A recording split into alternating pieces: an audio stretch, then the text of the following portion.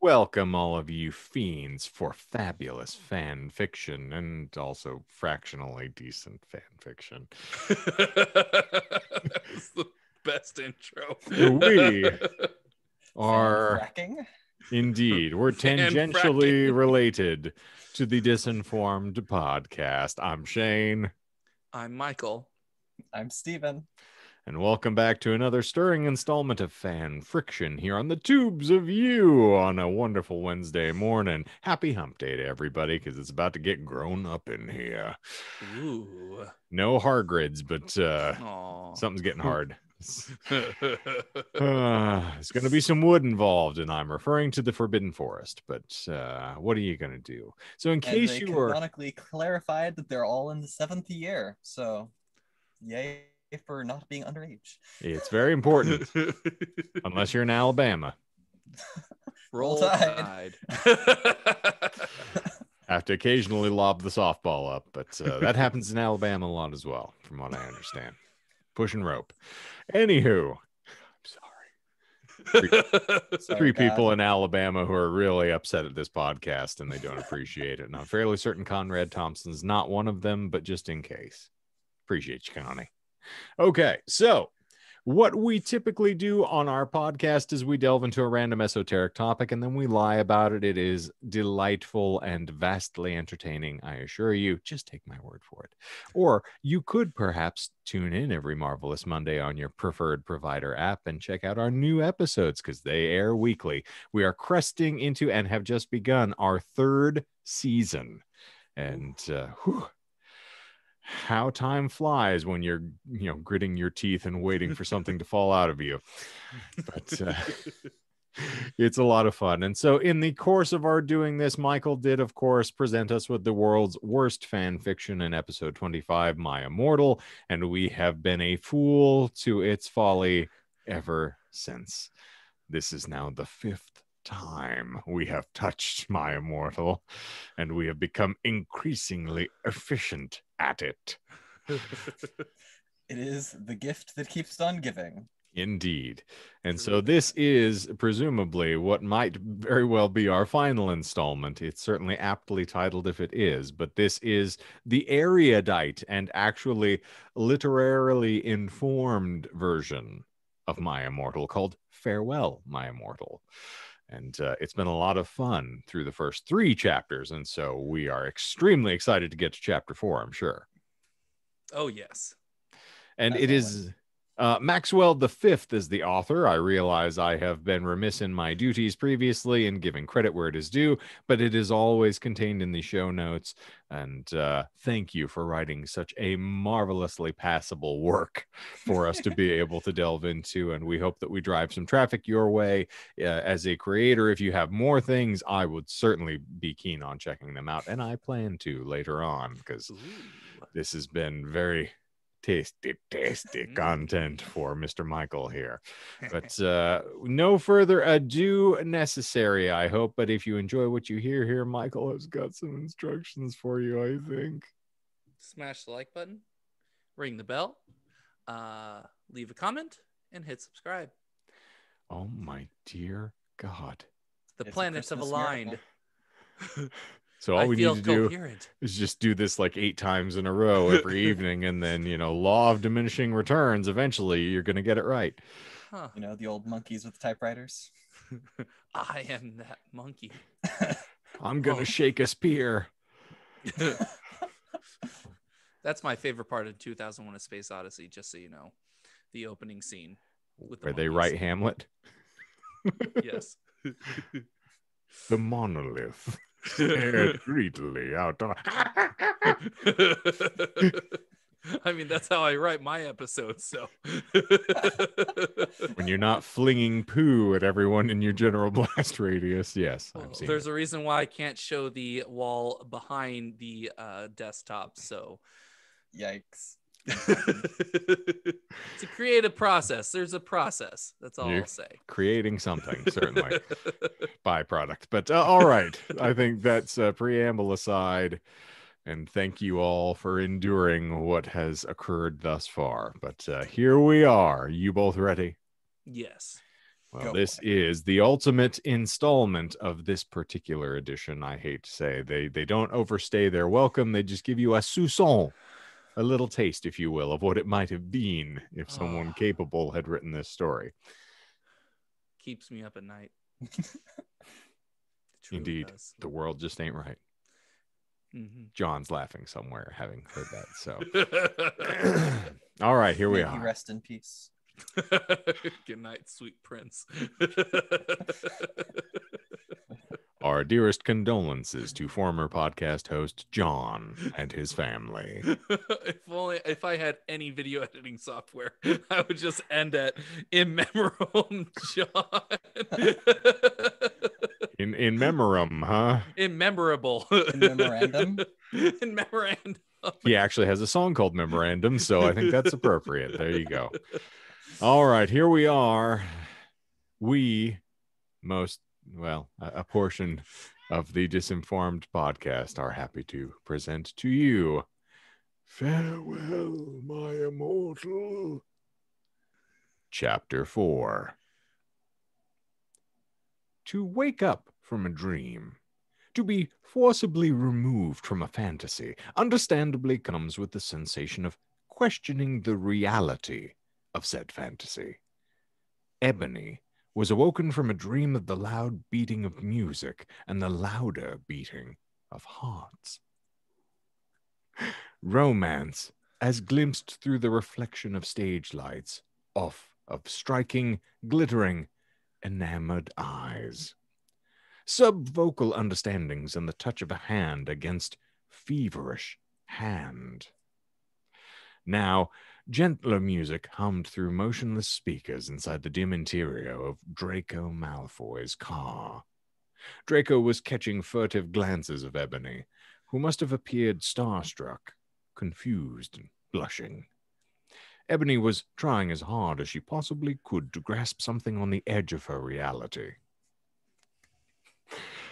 There's something wrong with the inside of Draco's car. But how would she know that? She'd only been in Draco's car once, and she hadn't been spending the time studying the interior design.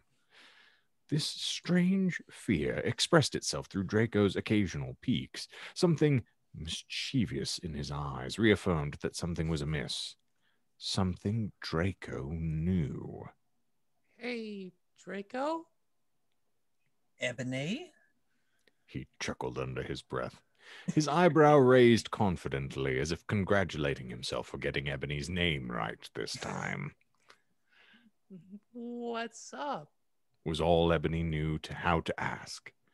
The question she had that she couldn't ask was, Why do I feel so uncomfortable riding in your car with you? And why do I want to leave so badly? Nothing at all. Draco said with the infuriating self assuredness that came with coy, intentional misinformation. By the way, we have a podcast that does that weekly. It's very. I wanted to say that one the the forced uh, or the poor information, the poor informed from last uh, last week, but I did not. well, speak for yourself. If you can. Uh, No, I cannot. Draco said with the infuriating self assuredness that came with coy, intentional misinformation. Ebony decided to not push him. The feeling of anxiety was real, but the justification wasn't. She wasn't confident enough to force anything. If she let herself relax just for a moment, content with what she knows, which is that she's coming home from the best date of her entire life with a boy she's head over heels for, grrr, then maybe she'll recognize what bothered her in the first place. It could be the natural strangeness of being in a flying car, a new experience for her, or it could be the simple fact that they weren't going back to Hogwarts. No, wait, that was it. They were slowing down and veering off from the path to Hogwarts. Ebony's mind jumped. No wonder it felt so strange. It wasn't the car that was the problem, it was where the car was going. Ebony tried to talk herself down from the edge of what seemed to be a horrifying reality by justifying the weird, circuitous path any way she could. Perhaps they need to sneak in. That makes sense. No, it doesn't. They're slowing down to a crawl near the canopy of the forbidden forest. They're not that hidden, and they're, they're going far too slowly to reach Hogwarts itself by morning. And the looks that Draco keeps throwing at her, there's something strange going on. Draco, uh, um, where are you going? Don't worry about it. Danger! Draco, in the time it took to speak one sentence, became a dangerous stranger. Panic spread through Ebony's body like a freezing wind. Her blood went cold as the car slowly started to lower itself directly into the forbidden forest. Ebony had not brought a wand. Or she did? No, wait, did she? Did she leave it at Hogsmeade? Why would Ebony ever leave Hogwarts without a wand? Not only for the aspect of danger that she now finds herself in, but for, for convenience's sake. She had to have her wand on her. She just had to. She can see Draco's in his pocket. But he's getting out of the car. Too late to reach for it. Relax. A voice deep inside Ebony's body called out. Not her voice. The chill increased, but the panic calmed. A surly voice that wasn't hers reached out inside the deeper recesses of her consciousness and it said, Relax. This is silly, spoke the voice. You're in no mortal peril. You left your wand in your opposite pocket. Go to him, quickly, lest. Lest was the last word she heard from the voice. Seemed like solid advice. She picked herself up from the car, taking care not to close the door behind her. Draco? She called out softly as she left the car, stepping out into the eerily quiet, dangerous growth of the forbidden forest. I had fun tonight. Draco said, approaching her. His hands were empty, but she couldn't see his wand. And I wanted to. What the fuck are we doing here, Draco? What is this? What? Draco sputtered, taken wholly aback by Ebony's outcry. I don't know what you think you're doing with me, Draco, but I've got my wand on me and I'm not afraid to use it. I, uh, no, I bet you're not. Draco exclaimed, hands upward.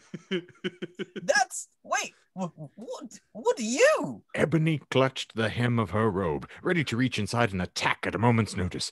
Draco held his hands higher, apparently cognizant that Ebony definitely had the drop on him. It took an extra long few seconds for Ebony re- herself to realize that at this moment, Draco was effectively in more danger than she was.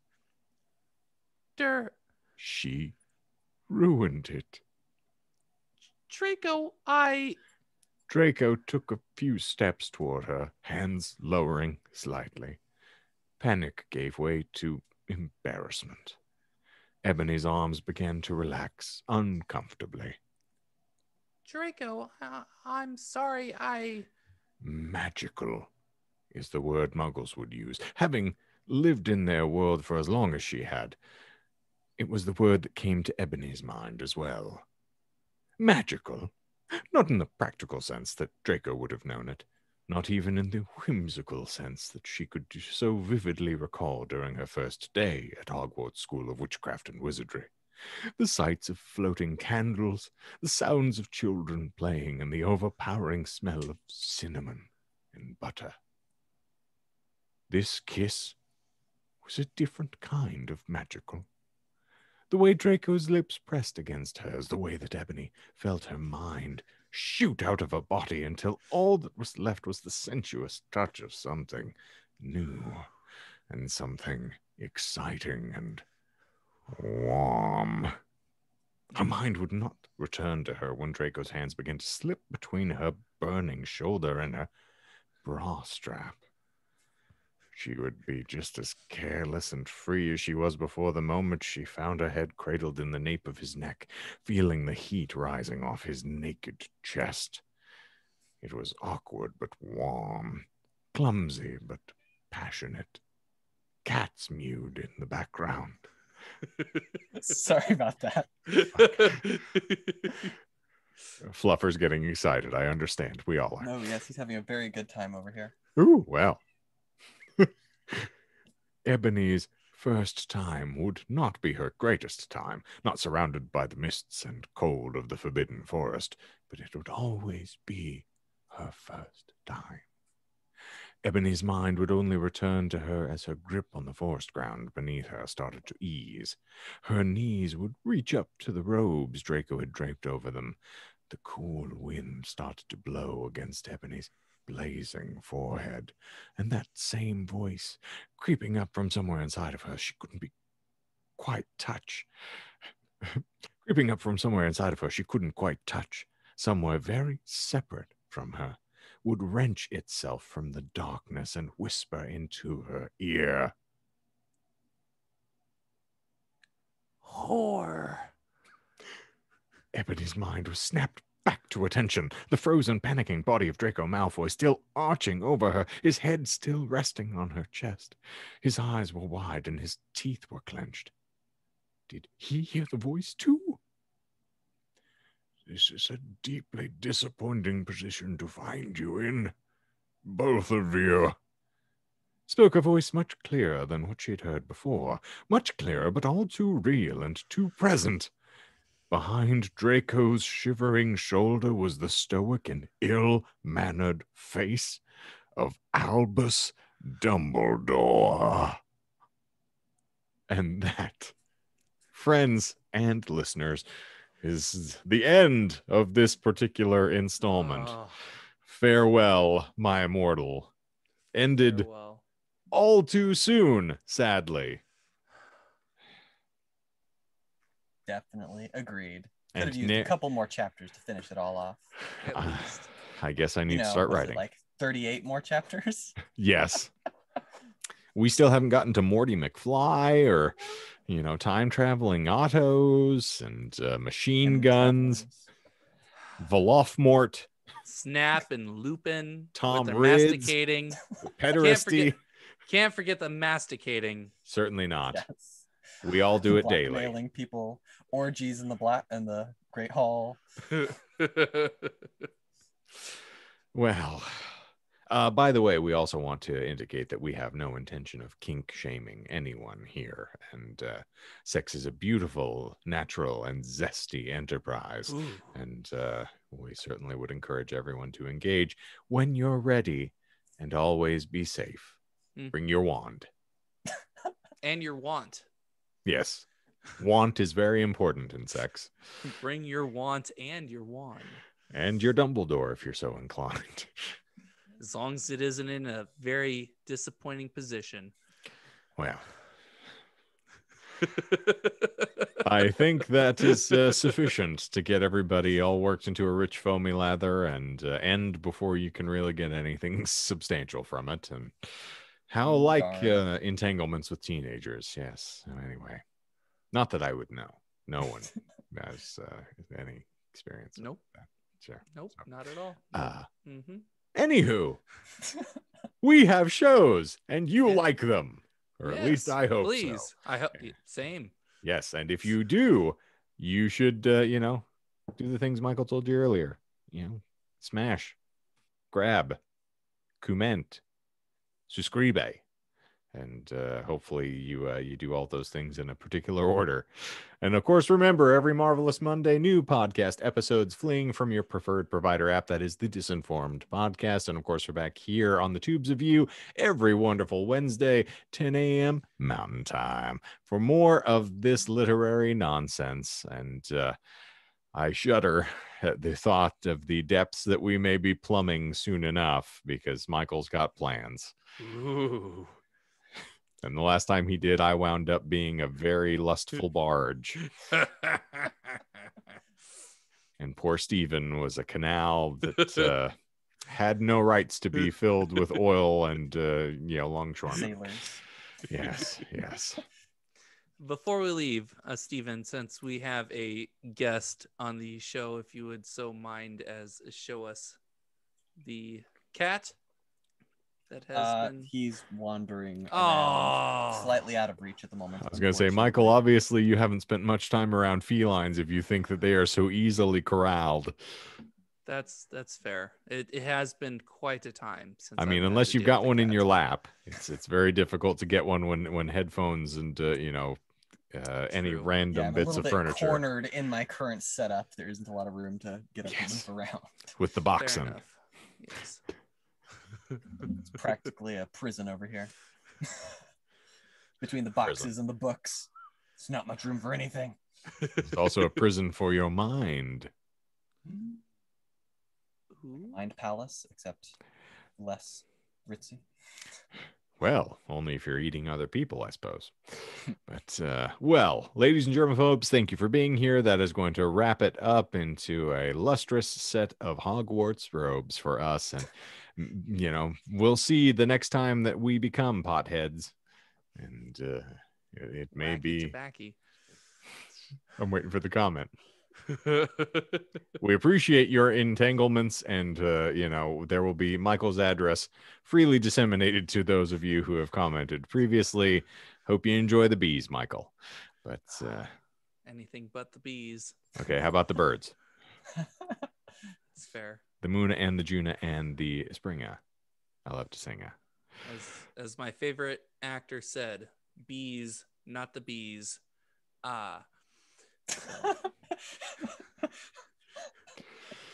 And, uh, why is my name frankie mermaids michael because you're swimming in bitches. Indeed. So, for those of us here at Disinformed Fan Friction this week, I am Kenton Eldorado.